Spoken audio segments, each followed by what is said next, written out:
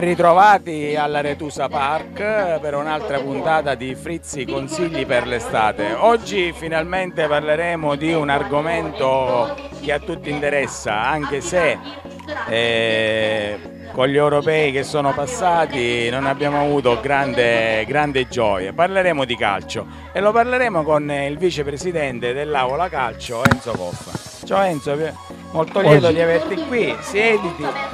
Ciao Giuseppe, buongiorno a tutti. Allora, adesso affrontiamo, come dire, il calcio è un argomento vasto, ne parlano tutti, quindi anche noi nella nostra trasmissione, appunto Frizzi Consigli per l'estate, volevamo affrontare e chi con, se non con un, appunto, un addetto ai lavori eh, tu rappresenti appunto l'Avola Calcio che quest'anno è salita in eccellenza e quindi state dire, creando eh, la squadra per, per, rimanere come ogni volta creare un progetto interessante.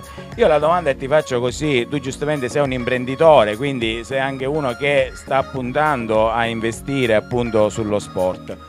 Ehm, il vivaio, abbiamo visto che nelle partite dell'Italia si sono tutti lamentati perché ormai i calciatori non si trovano eccetera eccetera. Voi nel vostro progetto avete previsto un vivaio, una crescita di ragazzi?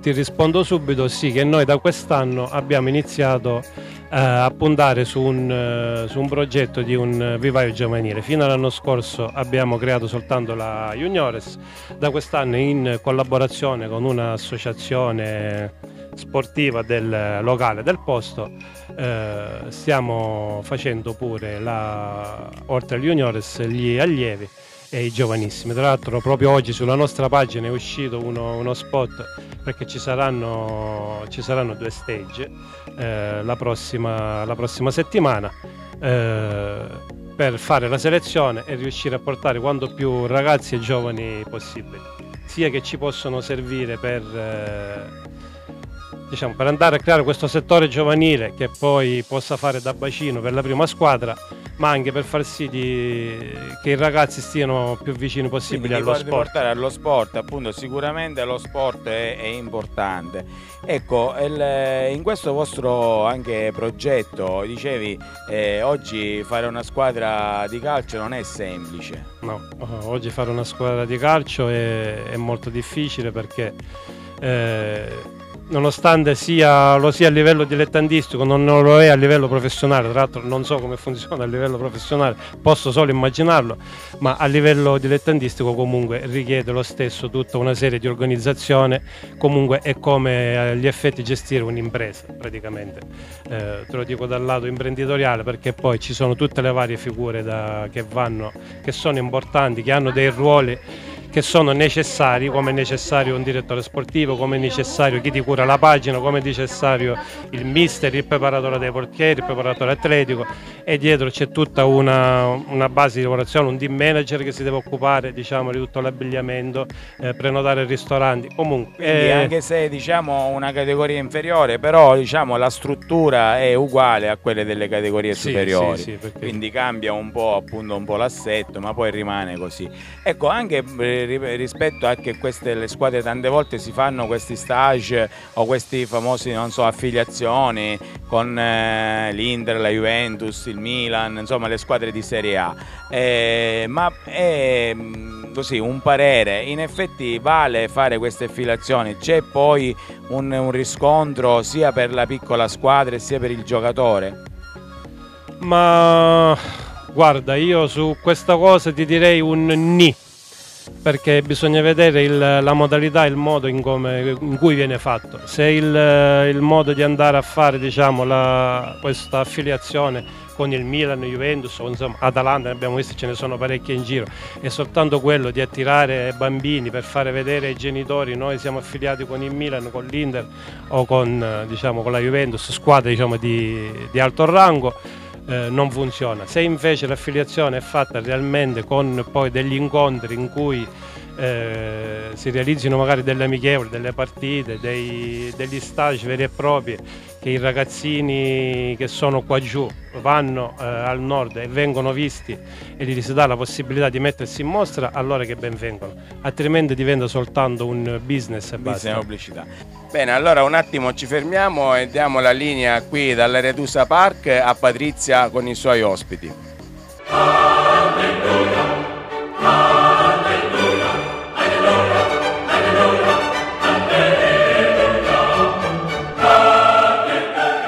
un matrimonio con tantissimi invitati o con pochi? O se già ha fatto o se già è sposata e quindi si è sposata con tanti invitati? Non sono sposata. Non si è sposata, non ha incontrato... Ho incontrato ma abbiamo deciso di non sposarci.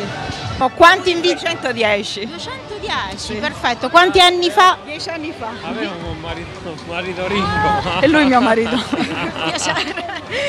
Quindi 210 invitati. Bene, questa, diciamo che eh, adesso eh, i numeri sono cambiati, ormai abbiamo dei matrimoni su 150, 160. I 210 insomma sono tanti, ma penso che sia stato un bellissimo matrimonio. Quindi ci racconti un po' del, del, suo matrimonio, intanto che abito? Un abito tradizionale, un abito a sirena? A sirena, a sirena, bianco eh, ovviamente. Bianco, certo. Con qualche dettaglio blu che è il mio colore preferito, è tuttora. Quindi allora, abito bianco, tocco di blu e 210 invitati. Che consigli possiamo dare agli sposi?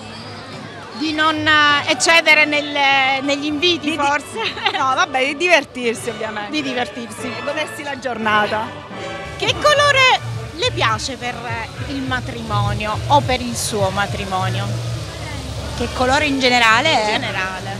E quale userebbe? Rosa. Rosa. Lei è sposata? Sì. Che colore ha usato per il suo il matrimonio? Il giallo, perché ho fatto tutto con i girasoli.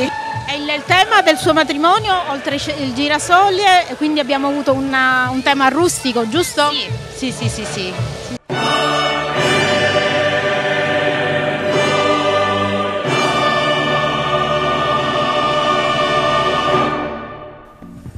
Allora, riprendiamo qui con eh, Enzo Coffa, vicepresidente dell'Avola Calcio.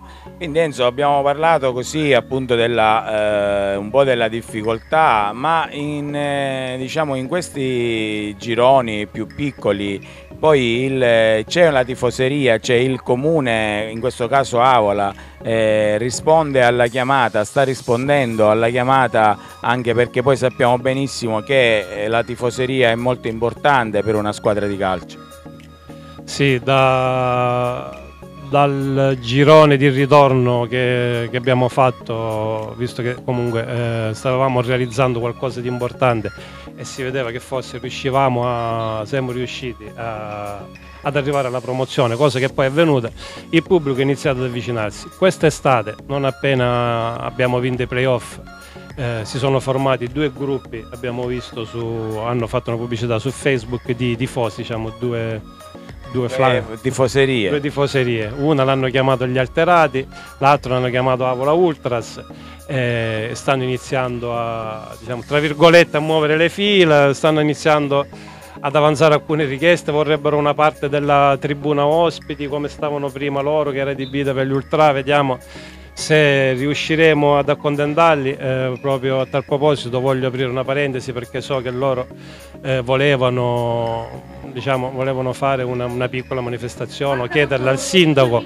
Volevo solo rispondere che noi abbiamo già fatto eh, questi, questi, passi, non dipende dal sindaco, eh, non dipende dal commissario, il quale gentilmente è venuto, il dirigente, per vedere di eseguire la separazione, ma ci sono purtroppo ad oggi tante normative che vanno, che vanno rispettate, le leggi non sono più quelle di una volta a causa degli scontri, di quello che si verifica, quindi vedremo di fare il possibile, ma, ma non sarà facile. L'unica cosa che speriamo invece, eh, noi abbiamo aperto una campagna, lanciato una campagna abbonamenti, eh, speriamo di, di, farne il più possibile per, per il bene della squadra.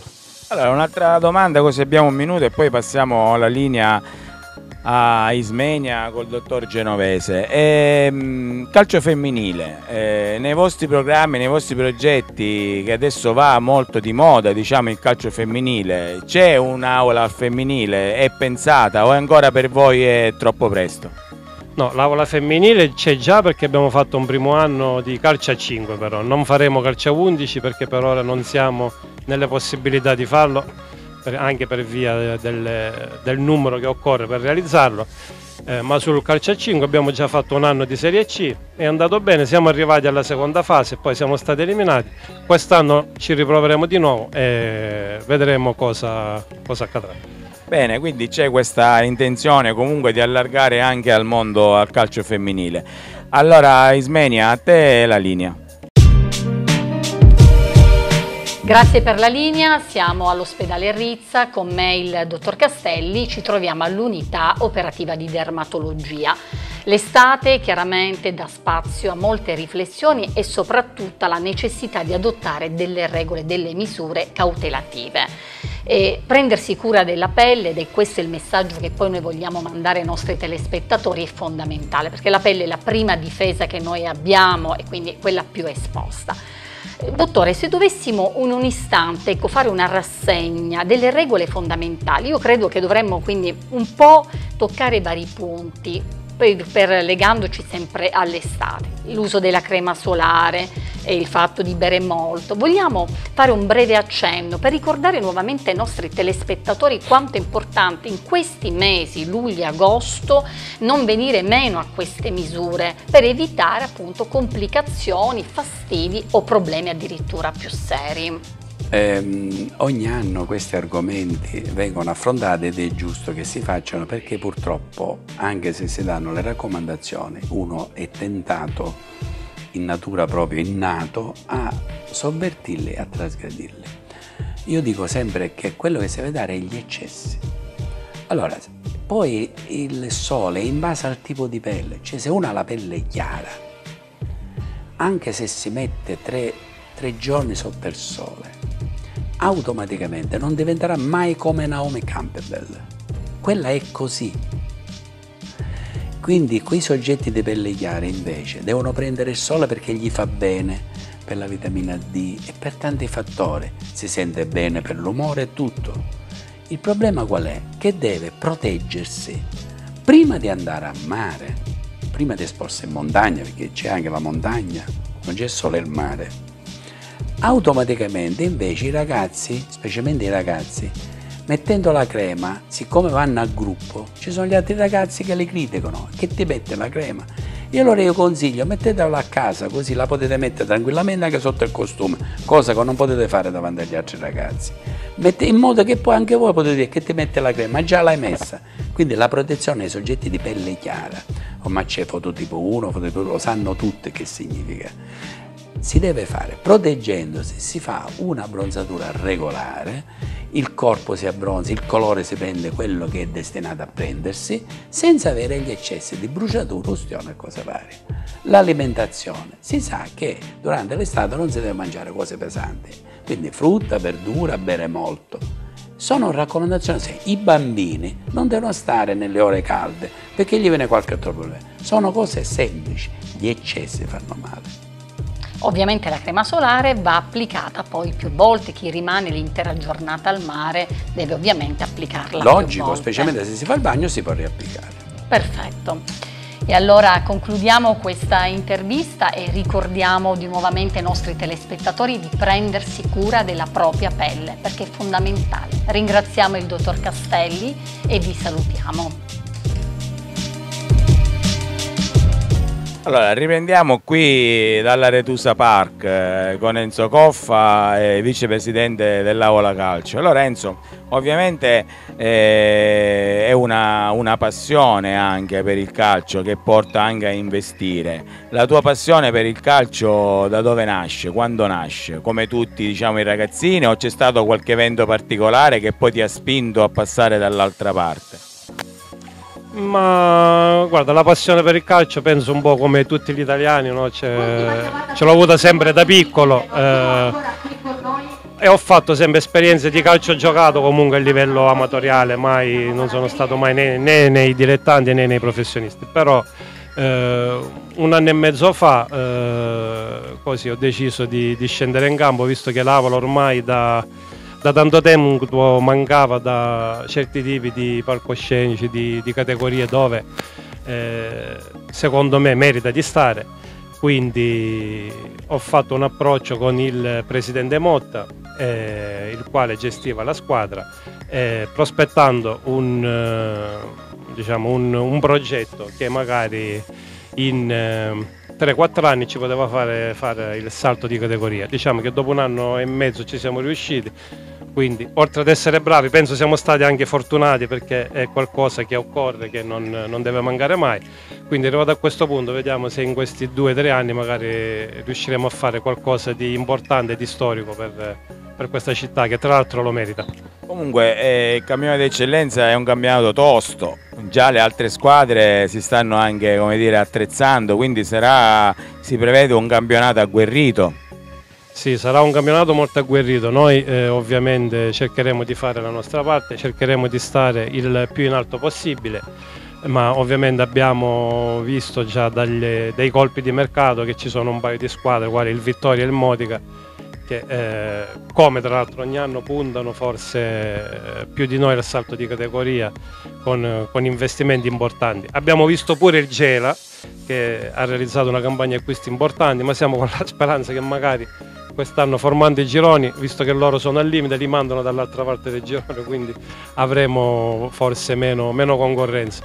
È chiaro che puntiamo ad arrivare nei primi 5 per poter disputare i playoff, però eh, ovviamente arrivare quinto non significa certezza di playoff perché poi se arriva a più di 10 punti dalla seconda non, diciamo, non, non vai a disputarli. Vedremo cosa ci riserverà Vabbè, il campo. Comunque poi essendo una nuova diciamo, arrivata è anche importante puntare andando a rimanere nella categoria sì, superiore. Bene, andiamo verso la fine di questa puntata, Frizzi consigli per l'estate, abbiamo parlato e stiamo continuando a parlare di calcio, allora andiamo un po' alla chiusura, eh, la domanda è d'obbligo, tu sei tifoso di quale squadra?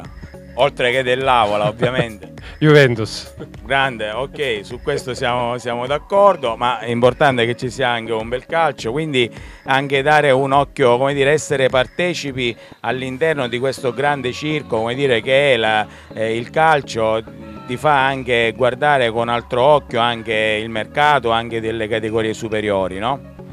Sì, sì, certo metti in una condizione anche più, come dire, più, più di interesse, avresti un sogno tipo portare un calciatore che anche diciamo eh, tante volte come dire calciatori ah, sta capitando più spesso che a fine carriera o per altri motivi anche eh, di categorie superiori, di Serie B, di Serie C, arrivano anche in queste categorie come eccellenza, Serie D. Tu avresti un calciatore in mente che ti piacerebbe avere nella tua squadra?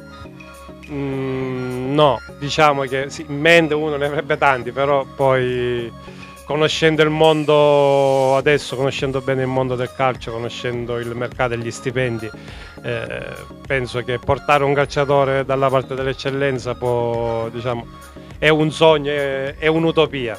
Eh, io, eh, mi piaceva qualche calciatore, non faccio il nome di, di, di Serie D, un attaccante e anche dell'eccellenza del, dell'altro girone di, di, de, del campionato appena concluso, ma purtroppo entrambi i giocatori sono andati uno al Vittoria e uno al Modica, quindi non siamo riusciti nel, nell'intento. Tra l'altro non eravamo nelle, nelle possibilità di, di concorrere dato il minor budget che abbiamo rispetto alle altre squadre speriamo magari un giorno di riuscire a pareggiare il loro budget e di poter eh, concorrere magari noi. Altrimenti facciamo una cosa così quando abbiamo iniziato questa puntata, puntiamo sui giovani e il problema oggi si dice che il calcio italiano è questo, ma non solo come formazione calcistico-tecnica, proprio come formazione umana. Eh, ci si rende conto che forse i giovani oggi, anche se poi non si può generalizzare, eh, ecco, sono un pochettino i nostri come dire, i ragazzi italiani un po' viziatelli e quindi forse meno propensi a fare sacrificio, mentre vediamo che in tutti gli altri sport stanno riuscendo. Quindi forse un augurio è se non possiamo prendere eh, diciamo, queste, queste, queste stelle già esistenti, magari avere l'occhio lungo e promuovere qualche giovane. Abbiamo visto nel campionato passato europeo il, la stella spagnola, quindi di, di 17 anni. Quindi ehm, ti faccio questo augurio, un augurio di un buon campionato e quindi noi vi salutiamo e vi diamo appuntamento a una prossima puntata di Frizzi Consigli per l'estate. Grazie, buongiorno a tutti.